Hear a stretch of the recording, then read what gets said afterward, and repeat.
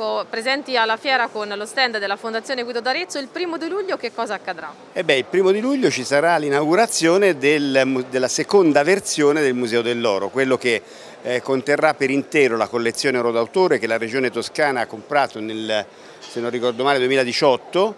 per un importo consistente che è finito nelle casse di Arezzo Fiere e che oggi potrà essere, da, dal primo di luglio potrà essere vista per intero in Piazza Grande perché il Museo dell'Oro è in Palazzo di Fraternita. Quindi la collezione che è bellissima ma che sta nei sotterranei nel cavò di Arezzo Fiere finalmente vedrà la luce tutta insieme potrà essere fruita da, da turisti e da operatori del settore. Ed è il momento in cui la produzione industriale e quindi la manifattura retina si unisce alla capacità di produrre un gioiello artistico e questa è la più grande espressione